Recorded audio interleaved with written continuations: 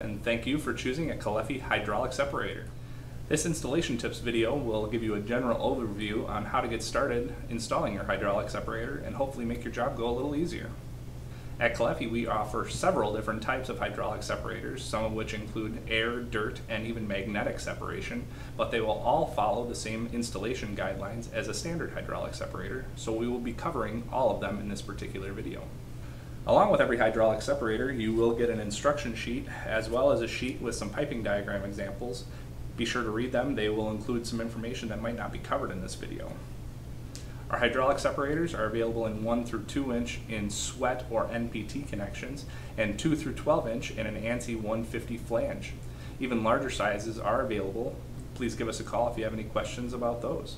For models with sweat or NPT union connections, it's a good idea to remove the sealing washer that goes in that union connection and wet it down. By wetting down that sealing washer, uh, it will minimize the chances for leaking.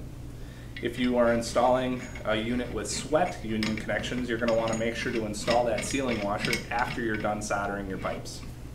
For flange models, like this big guy next to me, you will need a set of four mating flanges as well as gaskets. You will also need the nuts and bolts to put it all together. The size and quantity of those nuts and bolts will depend on the flange size. All of our hydraulic separators will come with an automatic air vent.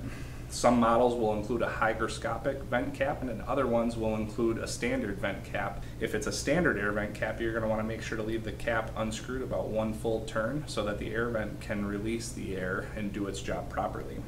Now if you want to vent the discharge someplace else for fear that it might get water on something that's very important or electrical, we do offer a fitting that converts the outlet of our air vent cap over to a quarter inch NPT connection so you can route that discharge somewhere where it's not going to be a problem. Depending on the size of your hydraulic separator, it will include either a service check valve or an isolation valve between the body of the hydraulic separator and the air vent. This allows you to remove and service the air vent or replace it without having to drain the whole system and is a standard feature on all of our hydraulic separators. Another feature that will vary depending on the size and model of your hydraulic separator are going to be some threaded taps on the body of the hydraulic separator that you can install pressure temperature gauges or thermal wells in. Be sure to check your instructions for more details on that. All of our hydraulic separators come with a blowdown valve at the bottom of the hydraulic separator. This allows you to purge out any dirt and sediment that is formed in the bottom of the separator. If you do have a magnetic separator, you're going to want to make sure to remove that magnet at the bottom of the separator before you do your blowdown.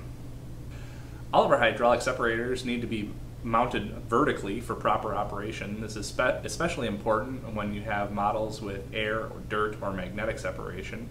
All of our models are going to be piped the same. One easy tip to remember is going to be hot on top and cold on bottom. Here's what this is going to look like in a heating system. You'll notice that the primary supply and primary return are on the left, and the secondary supply and secondary return are on the right. These can easily be swapped with the secondary supply and return being on the left and the primary return being on the right. The hydraulic separator will work just the same in either configuration. The primary side is going to be connected to your heating source, like a boiler or a heat pump. The hot supply from that heating source is going to come into the top left, and the cooler return water to the heating source is going to come out of the bottom left. The secondary side, which is going to be connected to your distribution system or your load, is going to have the hot supply come out of the top right and the cool return from that distribution system coming into the bottom right. If you're installing the hydraulic separator into a chilled water system, the hot on top, cold on bottom rule will still apply. Here's how that piping would look.